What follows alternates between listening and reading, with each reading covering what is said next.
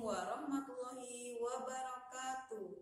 Piye kabare bocah-bocah sinau nang omah? Muga-muga sehat-sehat wae yo.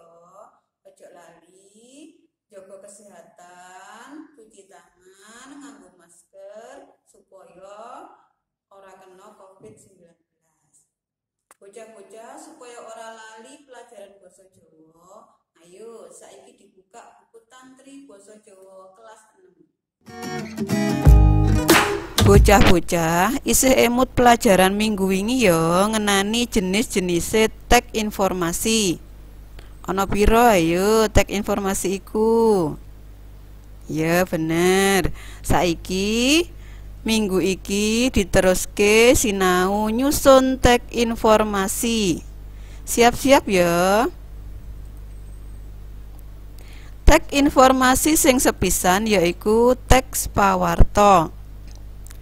Pedoman gawe tek pawarta kudu ana enem aspek yaiku opo utawa apa sopo utawa siapa kapan kena opo utawa mengapa nang endi utawa di mana kepriye utawa bagaimana. Enam aspek iku bisa kanggo nggawe teks pawarta. Teks sing nomor kalih yaiku teks persuasi. Teks persuasi yaiku teks sing iso narik kawigatene sing maca.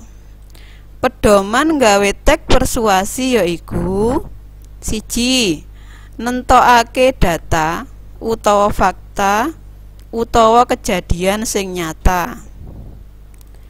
Data utawa fakta sing nyata mau iso kanggo narik kawigatene sing maca.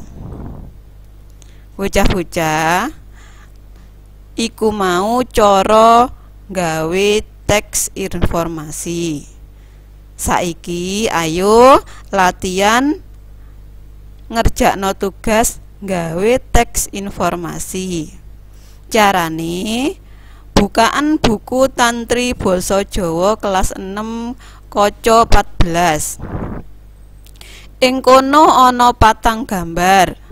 Pilihan salah siji sing mbok senengi. Yen wis mbok pilih gawe yo teks informasi sak paragraf wae Terus tulisen ing buku tulis kanthi rapi. Yen wis rampung, kumpulno buku tulismu ing gurumu dhewe-dhewe. Sakmono wae ya bocah-bocah. Muga-muga pelajaran dina iku